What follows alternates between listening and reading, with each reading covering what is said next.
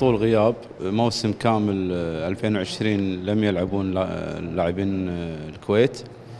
تعتبر هذه أهم بطولة سنوية تقام في النادي وهي التصفيات الأولى لنهائيات تشكيل المنتخب أو الترتيب العام في الكويت. ولله الحمد قدرنا إن شاء الله أن نقيم هذه البطولة.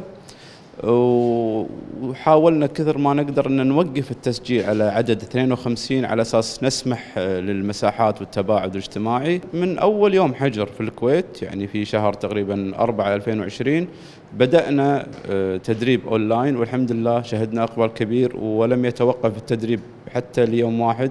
الحمد لله هناك منصات شطرنجية متطورة في هذا المجال. نقيم بطولات أسبوعية.